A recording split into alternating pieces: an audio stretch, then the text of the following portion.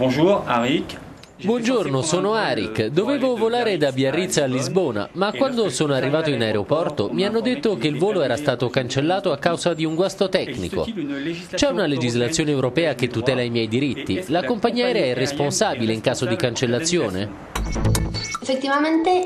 Effettivamente nel 2004 l'Unione Europea ha approvato una legislazione a tutela dei diritti dei passeggeri che volano nei cieli dei Paesi membri o con compagnie registrate all'interno dei confini dell'Unione.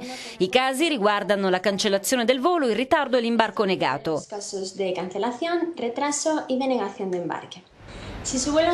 Se il volo viene cancellato e si rimane bloccati in aeroporto ci sono due opzioni. Il rimborso del biglietto al 100% o il reindirizzamento su un volo alternativo il prima possibile.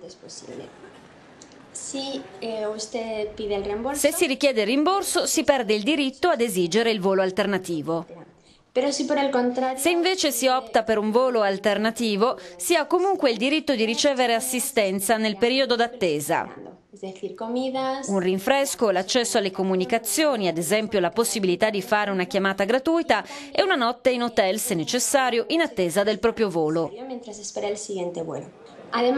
Altrimenti si può anche avere diritto ad una compensazione economica che dipende dalla distanza del volo. La compensazione può essere ridotta del 50% se la compagnia offre un volo alternativo ad un orario simile a quello cancellato.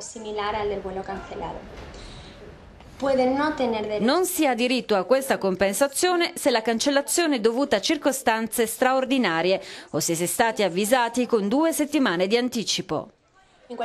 Comunque, in caso di cancellazione, la prima cosa da fare è mettersi in contatto con la compagnia. Se questa non risponde ai reclami, si può contattare l'autorità competente dello Stato membro dove si è verificato il problema.